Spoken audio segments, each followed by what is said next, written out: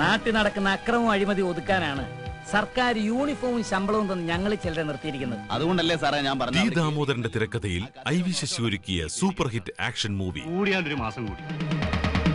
പെണ്ണുങ്ങളെ പേടിപ്പിച്ച് നാണല്ലാണ്ട് മീശ പിടിച്ച് നടക്കണ നിങ്ങളൊരാളാണോ മെഗാസ്റ്റാർ മമ്മൂട്ടി സീമ ഉർവശി ശോഭന തുടങ്ങിയവർ അഭിനയിച്ച മലയാള ചലച്ചിത്രം.